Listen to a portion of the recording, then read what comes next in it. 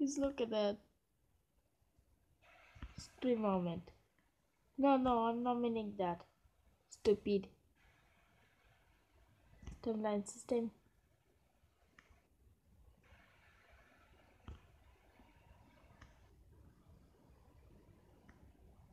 Stupid timeline system. I have to cut the video. Alright, the battle is actually going to start in a moment.